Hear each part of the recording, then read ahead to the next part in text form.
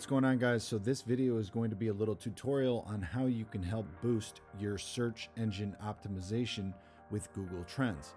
If you're looking to get more views on YouTube, you definitely want to check out Google Trends as a way to help find what's trending, what people are searching for on YouTube as well as Google, because Google owns YouTube. So there definitely is a connection between the Google algorithm and the YouTube algorithm. So if you've never used Google Trends, you're definitely going to want to check this out. So Google Trends is a completely free search engine optimization or SEO for a variety of different things. You can use this for eBay, you can use this for your websites, you can use this for certainly YouTube. So we're going to use it for YouTube today and see how we can connect what's being searched on Google versus what's being searched on uh, YouTube. So click on Google Trends. So this is the Google Trends homepage. So as you can see, there's a quick glance kind of tutorial that can help you kind of get going and it shows what's trending and where it's trending in terms of region, world, etc. So let's just start off with something that you might be uh, considering for a YouTube video. So let's say you're doing a breakdown of the uh, NFL playoffs. So let's do 2022 NFL playoffs so once we hit the 2022 NFL playoffs, this sort of key phrase, um, I can see, you know, how it's trended over time. Now, the NFL playoffs for 2022 aren't going to be trending in May or August. Um, they'd be trending around late December, early January. So we'd want to adjust our filter to maybe the past seven days. You can even do the past hour or four hours as an option as well. So let's just do seven days for Hee Haws. So the way it's broken down is a scale from 0 to 100. 100 means peak popularity, and 0 means there's not enough data.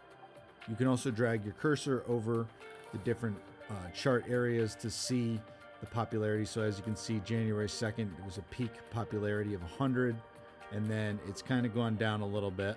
You know, you can consider thinking about this as a potential YouTube video. But the purpose of Google Trends is it gives you, you know, some sort of idea as to how popular it is via Google. Another reason Google Trends is beneficial, the Google keyword searches here can also link YouTube videos that you've used the same keywords in. So that's another, you know, thing you want to consider is using Google keywords as well as the YouTube keywords so people can find your videos through Google. Let's check YouTube to see the popularity on YouTube with that same keyword search. So this is just the, the free version of vidIQ and it gives you a little bit of an overview snapshot. Um, so this is a more favorable response, you know, giving some decent volume and it's a score of 59 out of 100, not great, but not bad. And uh, the, the key here is low uh, competition. So, you know, I can maybe squeeze in and get a video that's ranked somewhat high, maybe going over the NFL playoffs. And uh, I might be able to get some views from that. All right, another way to officially utilize the Google Trends is to see what's trending. So you can click on trending searches and you have three tabs here. Um, you have the daily search trends, that's the overall body of searches for 24 hours. And then you have the real time stuff that's really hot in terms of being searched right now.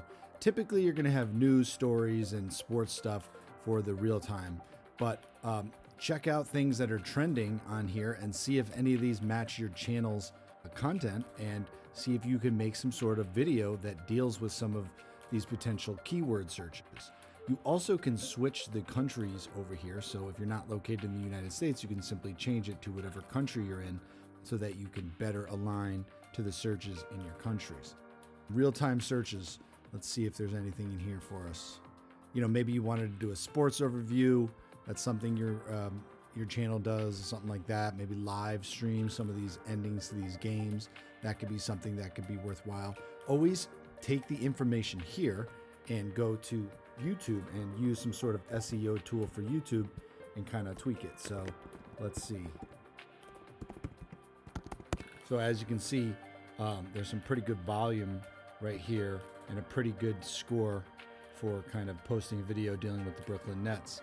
Um, and it's also trending right here, Kyrie Irving, etc.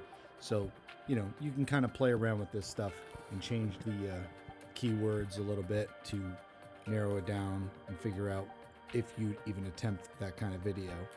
Google Trends really is going to help you determine a topic and potentially some keywords.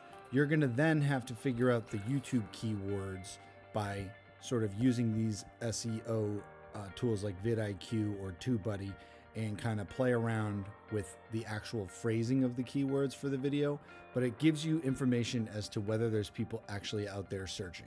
So Google Trends is going to help you determine whether there's interest in the topic. Shows you region wise. It also shows you other related topics. So it kind of shows you other things that are trending that are associated with the topic. It's definitely something you can use and you can sort of plug in your information here to tweak the keywords and create videos that are going to rank high and you might be able to use some of these for YouTube so that you can actually rank higher in your search videos and sort of play on trending topics. All right, so definitely something to consider when creating YouTube videos, or if you're not sure what your next video should be, check out Google Trends to try to get some ideas on things that are trending, and then double check your keywords on YouTube to see if they're being searched there. All right, thanks for watching, guys. Don't forget to hit that subscribe button, and we'll see you guys next time.